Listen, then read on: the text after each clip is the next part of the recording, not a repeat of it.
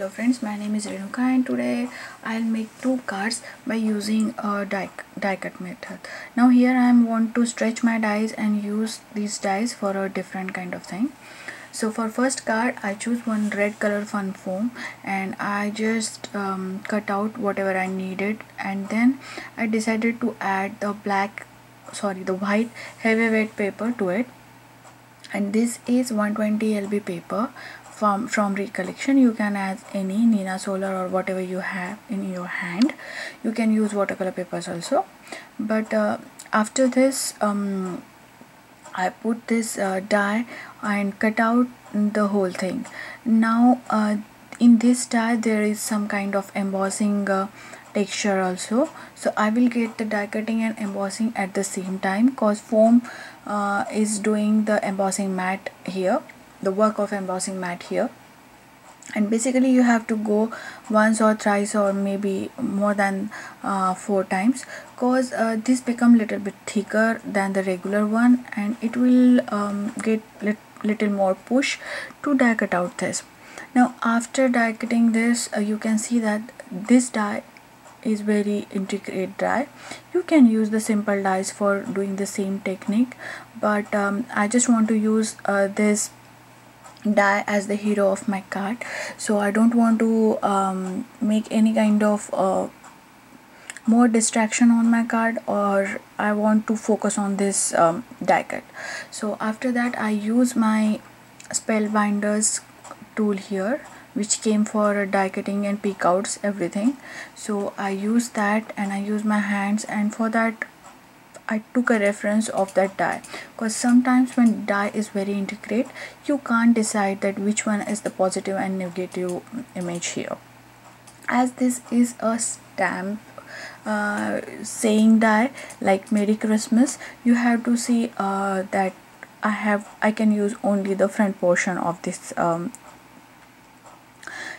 card and foam base but you can use the back side of it if it is not words. Means you can use the back side and you can directly put the fun foam in front of your card. That's mm -hmm. also look nice. But uh, for this card particularly i'm not using that. I want that red color little bit peek out from the side when we see that. But although I want the card in very neutral colors. So I choose here. Uh, first of all I decided that I will put this on a gray color cardstock. Then I decided to add little bit more um, color to it. So I go with the uh, grayish blue card here.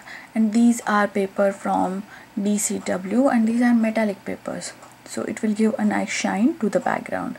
Now I am pla uh, placing this paper on the 5 by 7 the big card one. And now I'm putting glossy accent on it and little bit tombow mono cause at that time I'm running out of the glossy accent. But I preferred you to use the glossy accent cause when it dry it dry transparent so you didn't get any kind of white uh, residue on your project. Now I'm placing a block here and then uh, just want to make sure that everything is nice and clean. So I pick out those extra glue here and there and wherever there are some kind of dots or some kind of dirtiness is there so I put the sequins to hide that so no one will ever know that what happened at the back of this sequins so at this moment this card is complete but I want to add little bit more shimmer to it. So I decided to add Wink of Stella pen. You can use any Spectrum Noir pen also uh, for adding a little bit glitter here. Or you can uh, just dry emboss it. Now for the second card I choose a dark texture paper here. Uh, now uh, this texture paper is uh, like the square on it and it is kind of watercolor paper. I bought these in a big sheets it's having in my stash for a long time. Uh, then I decided to give a little bit base to it. So again I'm using that shimmery cardstock and now I'm using the color uh, which is more to the gray and green kind of wine color. Then I put this big die on that and I'll make sure that I put lots of washi tape on that.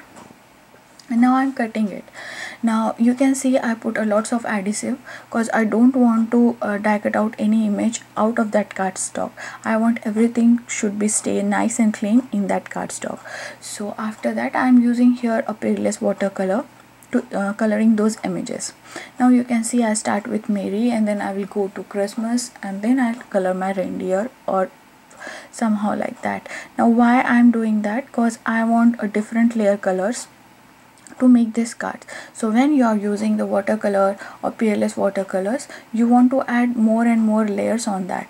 So the organic way of doing that is you shift the areas when you color uh, rather than using your uh, heat gun or heating tool.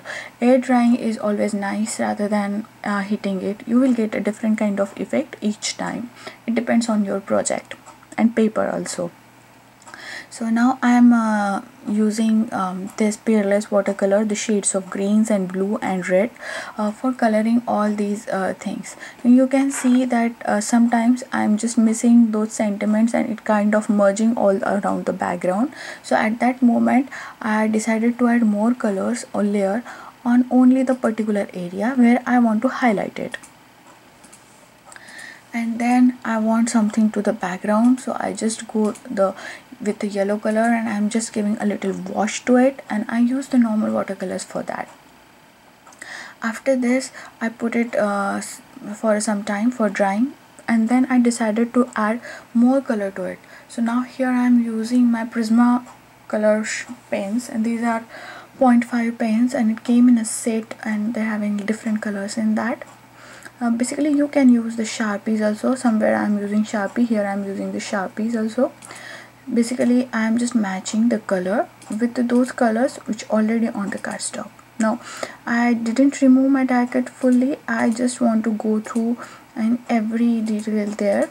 So I place that washi tape and then when everything is finished I just add, add a little bit black glaze paint to add more detail on the reindeer eye. So it looks like a reindeer. Now I want something more on this. So I decided to add the white stickle on it. So I put some stickle on my fingertip and I just press that all over it. So after that I can't decide that which cardstock it should be used for the background. So then finally I go with this gray cardstock and this one is from MFT and then just for the highlighting it more I cut out the foam foam panel uh, from the fun foam and just add it to the back side. Now you can see that how this die cut uh, is in back side also or we are, we are we go one and two and three rounds for that. And after all this I love to add little bit sequins here and there. These are Darcy's and Pretty Pink Posh sequins which I am using the mix here and in this way you can see that you can use this die in a different way in a different manner each time. So you can stretch your supplies and you will get more out of them. Cause dies are already uh, pretty costly. I will link below that where i buy this die. This is from amazon. And uh, these are the two cards we make today. And you can see that both of them having a pretty different look than the first one. If you like my channel please do subscribe to it. You can hit a subscribe button. You can follow me on facebook pinterest and instagram. And you can see more pictures on my blog. So until the next crafty project have a crafty life. Bye bye